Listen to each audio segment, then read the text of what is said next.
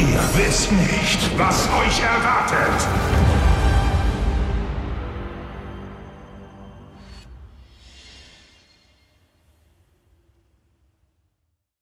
So, Freunde der Nacht, moin moin, die Pfeiler hier und willkommen zu einem neuen Video von mir auf meinem Kanal.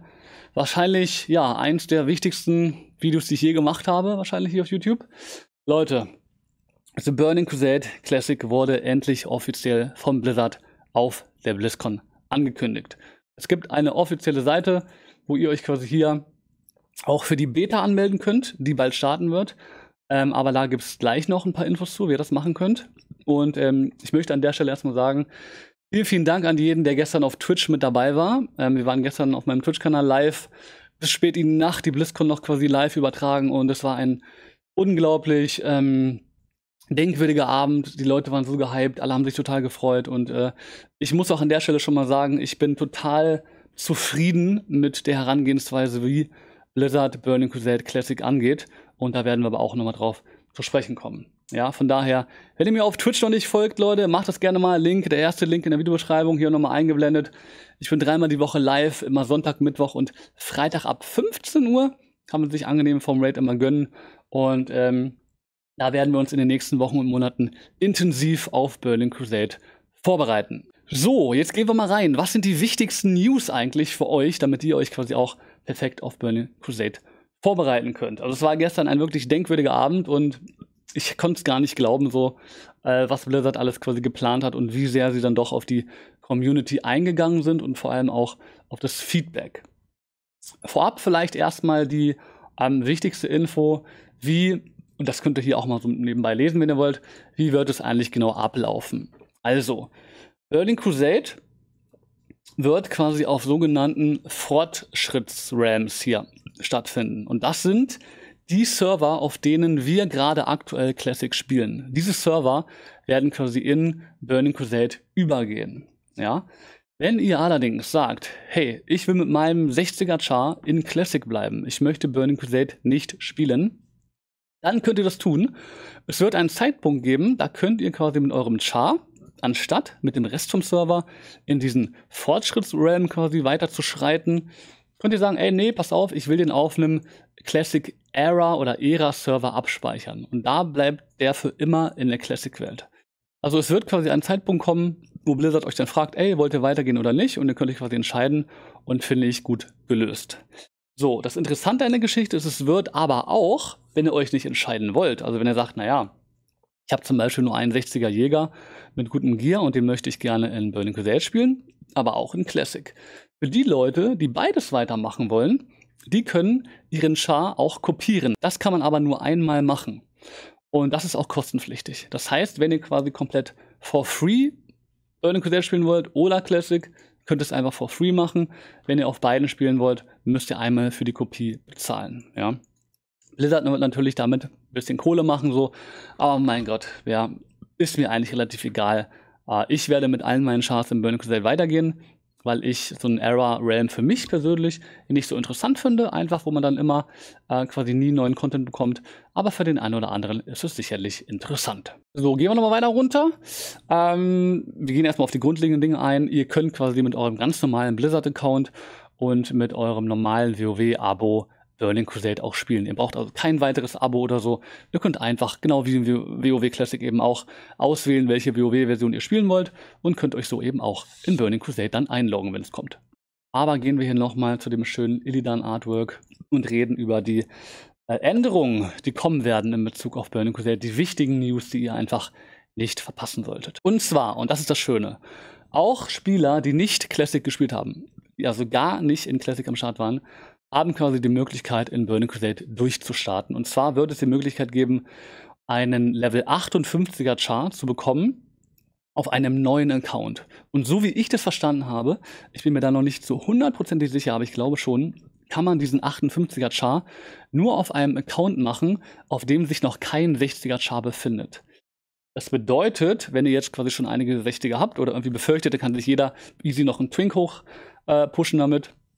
Ich meine, es geht nicht. Ich meine, es geht nur auf einem Account, wo man noch keine 60er hat oder vielleicht sogar generell noch gar keine Chars drauf hat. Aber das wird man noch klären müssen. Generell muss ich sagen, finde ich das gut, dass es ähm, die Möglichkeit gibt, mit einem 58er zu starten. Ich weiß, es birgt einige Probleme, ne, die Bot-Problematik und und und. Aber ganz ehrlich, Leute, ähm, die Bots werden so oder so kommen. Die Firmen haben doch eh schon 100.000 Magier auf Level 60, von daher irgendwie auch egal am Ende. Und ganz ehrlich, mich haben schon einige Leute angeschrieben, die äh, unglaublich Bock auf Burning Crusade haben, es aber nie gespielt hätten, wenn sie vorher in Classic nochmal hätten leveln müssen. Und die meinten schon, sie sind jetzt quasi am Start und ich freue mich einfach äh, darauf, mit ihnen gemeinsam in das Spiel reingehen zu dürfen. Natürlich darf man aber auch nicht vergessen, hier sind natürlich eindeutig auch monetäre Interessen von Blizzard am Start, weil natürlich die Spielerschaft enorm wachsen wird, wenn diese Leute mit Level 58 alle ins Spiel reingehen können. Das darf man nicht vergessen an der Stelle. Ja, trotzdem finde ich, hat sich Blizzard ähm, auf der gesamten BlizzCon gestern Nacht sehr äh, positiv für mich präsentiert. Sie sind auf die Community eingegangen und ähm, ja, haben sehr wichtige Änderungen angegangen. Zum Beispiel Spellbatching wird es nicht mehr geben. Das war aber eigentlich auch schon allen klar, weil da quasi auch auf dem PTR-Server schon so ein kleiner Hotfix am Start war. Da hatte man schon drüber spekuliert. Also Spellbatching wird es in Burning Crusade nicht mehr geben. Das ist auf jeden Fall gerade auch für die Arena ein sehr wichtiger und guter Punkt. Ja, zweite wichtige Neuerung oder Info wird sein, dass der Raid-Content progressiv kommen wird. Das bedeutet also, am Anfang wird nur der T4-Content quasi offen sein. Also Karasan, Makteridon und Gruul, glaube ich. Und ähm, die weiteren Raids, T5-Content und so weiter wird quasi dann in Phasen, genauso wie in WoW Classic eben auch, eröffnet. Und das finde ich auch eine sehr, sehr gute Geschichte. Das hat ja in Classic auch schon wunderbar funktioniert. Dann äh, kommen wir zu äh, der ähm, Paladin-Geschichte. Die Paladin-Siegel ähm, sind auf beiden Seiten gleich tatsächlich. Ja? Also ein, äh, eine wirkliche äh, Änderung am Spiel einfach mal. Ne? Das äh, Blutelfen-Paladin-Siegel gab es ja eigentlich nur auf Hordenseite. Das kommt jetzt allerdings auch auf der Ali-Seite. Und zwar wird es irgendwie so sein, dass man das auf Ali-Seite irgendwie auf Level 63 lernen kann. Äh, also, also die Allianz kann quasi auf Level 63 ihr eigenes Siegel lernen und dann auf Level 70 das der Horde. Und auf der Hordenseite kann man quasi das Blutelfen-Siegel ähm, ab 63 lernen und das der Allianz ab Level 70. Also genau umgekehrt. Ist eigentlich relativ egal, weil auf Level 70 haben dann quasi beide die gleichen Siegel und das ist wirklich ein sehr willkommener Change, der keine äh, Probleme irgendwie im Spiel verursacht und einfach für, ähm, ja, wahrscheinlich eine etwas ausgeglichenere Fraktion, äh, Fraktionenverteilung auf den Servern ähm, ja, einfach hervorbringen wird, weil dann eben nicht so viele Leute extra Horde gehen, nur weil sie eben das Blutelfen-Siegel haben möchten, was einfach schon ein wenig stärker war. Das ist wirklich eine sehr, sehr schöne Geschichte, weil halt sowieso schon genug Leute wahrscheinlich heute anfangen werden, wegen den UD-Ratios in der Arena. Ja, eine weitere Änderung am Spiel kann man sagen, da sind sie auch ein bisschen drauf eingegangen, ist, ähm, dass die Arena-Teamgrößen, also zum Beispiel man konnte damals im Turn 2 in der Arena nur zwei Leute in ein Team einladen, im 3 und 3 nur drei Leute, im 5 und 5 nur fünf. Das wurde jeweils verdoppelt, von daher auch eine schöne Geschichte für die Arena-Spieler. Ähm, zudem wird das Matchmaking von der Arena vielleicht ein bisschen überarbeitet, weil man einfach hier mittlerweile natürlich, ne, das Game ist vorangeschritten, man hat mehr Erfahrung gesammelt, hier vielleicht ein anderes MMR anwenden möchte, macht auch eventuell Sinn. Wird auch nochmal gespannt, äh, bin ich nochmal gespannt, wie sie auch hier auf die Win-Trading-Problematik vielleicht eingehen werden. Also da bin ich auch äh, frohen Mutes, dass sie hier auch quasi äh, ja einfach äh, auf intelligente Art und Weise das Arena-System äh, implementieren werden. Über den Armory haben sie leider nichts gesagt, ob ein Armory kommen wird oder halt eine Ladder für die Arena. Das fand ich ein bisschen schade. Und ähm, ja, der wohl äh, krasseste äh, Change für mich oder die, die wichtigste Info für euch alle äh, war für mich einfach, dass wir die Pre-Nerf-Boss-Mechaniken bekommen. Und damit hätte ich nie im Leben gerechnet. Also das war auch wirklich gestern meine Reaktion auf Twitch war wirklich auch, ich bin echt aus allen Wolken gefallen.